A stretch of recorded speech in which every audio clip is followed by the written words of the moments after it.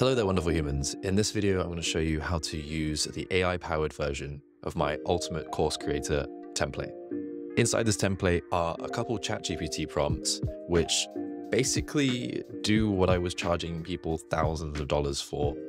This process would normally take me weeks, if not months, of course design, just to get something to the first draft version. Now, what ChatGPT outputs is not perfect, but it is saving me weeks of time to create an initial course idea. Let's say you want to create a course about marketing funnels and you want to help people bring more traffic to their personal brand websites. I'm going to walk through a demo of how I would use these prompts to get the first draft of this course done in hours and save you potentially weeks of time just to get those core ideas, concepts, and frameworks out and then you could start to weave your frameworks, your branding, your special concepts and images all over this so that you can build courses quicker and faster and deliver that to your audience. I hope this is helpful. And if you want to find out more, go to the comment section below for the download. Okay, if you look at the new template, you'll notice that there is a sparkle emoji. And now everyone who's building an AI something or something needs to have a sparkle emoji. Got that tick, great, sparkle emoji. Next thing, need you to know about the anatomy of an online course. Basically, you have four levels. You have the whole course level, which is the before and after transformation of the whole course. Then you have module level, which is if it's broken down into three parts or five parts or a hundred parts, the lesson level, and then the content level. So these are the four levels that you have to be aware of as you design your course. And the content stacks to become the lesson. The lesson has to deliver a part of the module transformation, and the module transformations have to stack together into sequence to deliver the whole course transformation. So that's what you have to think about as you're designing things. Cool. The first thing to do is really brain dump all of the previous material that you want to have in this course. All of these worksheets and notes and images that you've been using in your previous work, just leave that here. Next step is to figure out your learner transformation and course objectives. So this is a little bit of thinking to get you used to like what is your learner's context, what's going on in their lives, do some empathy mapping. There's a really cool learning experience design canvas I made in Miro. You could go and use that. But really, we're trying to get you to the course learning objective. This is what you need to do. In here, there's some examples of course objectives. Here's the one that we're going to use for the rest of this example. Given the tools, templates, and strategies presented in the course, students will be able to design and implement a marketing funnel for their personal brand to professional standards of achievement is demonstrated by creating a complete funnel blueprint and successfully driving traffic through each stage. Imagine that I wrote that in this template that I've given you here. I'm actually then going to take this into 1.3. And here you'll see our first ChatGPT prompt. ChatGPT is being given the course levels that it has to design for as context, then all you're going to do is replace the learning objective with what you made in section 1.2. And Voila.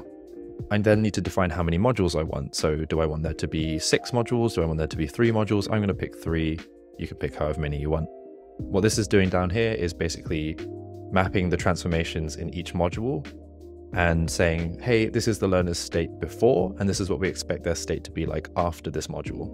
Great. I'm going to copy this across from Notion into ChatGPT, and you might have to remove these aside brackets. These are basically from Notion for styling, but you just want to delete those. And then you want to change your name and say, I am the founder of Marketing Funnel Guru. Great. I want to create this course, think about these levels, blah, blah, blah, blah, blah. You do all these amazing things. There's my course learning objective, and it has three modules. As you can see, ChatGPT is busy working on the transformations before and after. We're going from unclear about the structure and purpose of marketing funnels to understanding the foundational elements, all the way to being unsure how to incorporate that into their funnel and then actually being able to implement that into their personal branding and get some results. So these are all stacking to achieve this top level outcome. Next, I would grab all of the text from here and paste it into Notion and that will give me my before and after transformations to help me think through the names and how I'm going to communicate the transformation in each module. Next, I'm going to grab this text here and paste that into ChatGPT. Here, there actually isn't much that you need to change. You just need to remove these A-side brackets And essentially what this is doing is now creating a glossary of key concepts, skills, and frameworks that you need to bundle into various lessons. This is sort of high level thinking I used to get experts to do and say, look, just write every concept, write every skill, write every framework that you're known for and add it into your courses. So this is where you can start to put in your different frameworks and ideas into the mix. What I would do now is actually grab each of these and then start putting them into a new card in Notion. So for example, this AIDA framework, the ADA framework, I would copy that across, create a new card, call it AIDA, paste that in there, just so there's a definition of what this is. You can use this for glossaries so your learners can find out about specific topics, but really having ChatGPT know about all the different concepts you want to teach is really essential for the next part. So if you have a big idea or a framework, define it here and copy it into ChatGPT and say, include this in the glossary. Nice. So as you can see here, ChatGPT has gone through all the different modules and thought about, hey, these are all the key concepts you're going to need to introduce to get that transformation. Here's the key skills and here's some frameworks that you need to think about. Lovely. This would have already taken me weeks at this point and it's just taken me minutes. Next, I'm going to grab this, which is the lesson level. So the ultimate end goal of this is for me to have a list of lessons here in my curriculum. And this is going to have the content of the lesson, like the script that I'm going to speak into the video, and that I can start to layer instructional stuff and images and videos over the top so that it can be more transformative than just my talking head. Right here, you want to actually make some changes. First, you're going to need to change the structure of the lesson. I've used this basic template, which I find to be very effective but you might not want to have theory and then practice in your lessons. That's just something I do. If you want there to be more storytelling, if you want there to be case studies, you might need to add another section in here so that ChatGPT will know what the structure of each lesson looks like if it's similar. So I'm just going to go ahead and copy and paste that. And this again will save me weeks of work. Paste that into there, delete the brackets. And I'm actually going to leave this undefined. You can actually define if you want five lessons in total in each module, or you can say, you know, somewhere between two to six, and then let ChatGPT decide that. So the other smart thing that's going on here is that I've added these nine events of instruction so that ChatGPT knows what to factor in and how to deliver good instruction. So if they press send, that's going to start the first lesson of module one. It will then pause and then ask me if the style and quality are correct. And then I can say, do lesson two. So this is just going to move through all of the different lessons and at least get the draft version ready so that I can start adding my tone, style, and flair. And if I want, I can even just change the tone, the style, and the flair by adding something in here saying like, write in a comical tone of voice or change comical for professional tone of voice. As you can see here, ChatGPT's told me what the lesson name is. It's telling me what module this is inside. It's also then writing a hook to gain the learner's attention and telling me that it's using event one. It's then introducing the lesson and the learning objectives, so giving the learner a clear picture of what's going to happen next. It's then defining the concepts, it's making it relevant to their knowledge and giving them some analogies to think through. And then finally, it's going into a practical exercise and a summary. Great. So it says, please let me know if you're ready. If you're satisfied, I'll proceed with the subsequent lessons. I don't need it to do that. What I would do next is copy all of this and I would paste it into here. Inside there is a great template you can use called new lesson template. This basically has some more checkboxes and frameworks for you to think through how you're going to deliver this. I'm going to paste that into script and then I'm going to actually ask ChatGPT to say, hey, remove all the structural text and rewrite this for my teleprompter. And this will basically give me a version of the copy, which has all of that stuff removed. And this is literally what I will see on the teleprompter. I can read it out without all of the different events and structural stuff that it needs to know.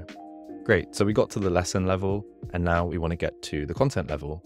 Let's say that I want to actually create some content for this. I'm going to have to make some Figma templates. I'm going to have to make some designs in Canva so people can understand like what a funnel is and the shape of it and all these kinds of things. I can also generate the A roll for this using a tool I love called Eleven Labs. Now, Eleven Labs have been very generous in getting a pro voice for me to synthesize this text from ChatGPT and turn it into my voice. And I'm going to give you a quick glimpse into what that looks like. So I'm just going to grab this text here. Let's put that in and hit generate. Imagine trying to pour water, representing customers. And I hope you can hear this, but that's me as an AI voice. Most of the water spills out. But with a funnel, every drop is directed and captured, demonstrating the power of a marketing funnel for your brand. In today's lesson, we'll uncover the magic behind marketing funnels. Cool. It's kind of like my voice. It's very British, but it's pretty good for an AI voice generator. So you can see how you can build courses really quickly using AI now. That was literally from idea to spoken voice in less than 12 minutes. And I'm going to just keep going and make all the different lessons and ask ChatGPT to go backwards and forwards and work with it, basically crafting the first draft of this. When you're finally done, you can create the course title. And this is kind of hard for some people. They don't really know what to call their courses. So I made a prompt for it. Again, you remove those little brackets. And then what you're going to get is some brainstormed ideas for your course name, and then you can kind of workshop those to have something to put all over the landing pages. In following videos, I'm going to show you how to make landing pages using AI. That means you can actually build a funnel towards your new offering and uh, hopefully get you generating revenue far quicker than you ever thought you could using brute force methods and just trying to write it out by hand. So here you go. Here's all the names of my course that I've created in less than 15 minutes and I hope this video was helpful for you guys as you design the first draft of your courses. If you want to find out more, go to the comment section below where you can find the template. Inside is all the prompts that I've just shared with you and also some more tips and tricks for managing not just the actual generation of the course, but producing it and publishing it and marketing it to the wider world. Happy course creating and thank you for watching the video.